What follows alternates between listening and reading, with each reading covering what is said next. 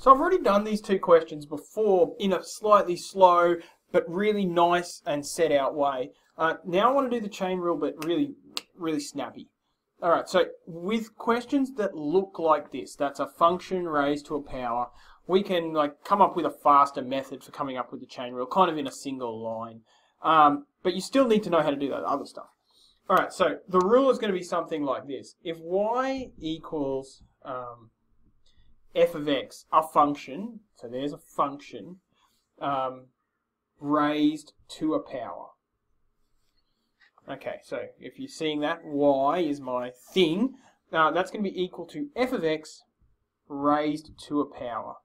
Then my rule states that y dash is going to be equal to, uh, now you've got to be careful here, we've got to bring the n out the front, and then we've got to take the derivative of f of x, so that's going to be uh, n times f dash of x, and then we've got to keep our um, f of x to, that we started with.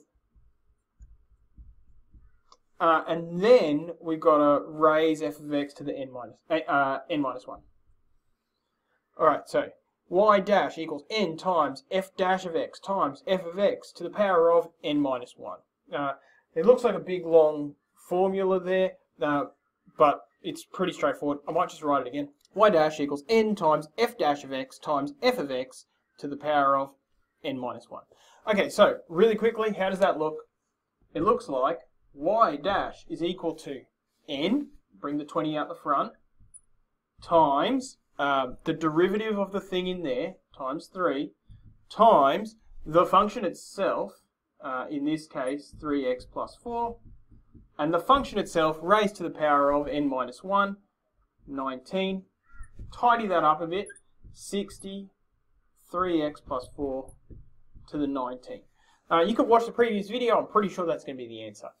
Um, this one, so y dash equals, bring the power out the front, negative 2, multiply it by the derivative of that, uh, which is going to be 12x squared minus 5, multiply that by the function itself,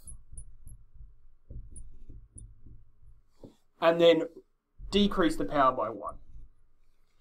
Uh, that's that looks like it's probably the answer. All right, so that's uh, the chain rule, like the the super fast way. Um, it's really important that you know how to do the the previous stuff. You understand uh, the the thing I showed you earlier. Uh, dy dx du du uh, because when we start moving away from doing um, derivatives just with these fairly basic ideas, there are some other ones that aren't just going to have neat little rules. You're going to need some flexibility. But that's a really, really fast way to do the chain rule in questions that follow this form.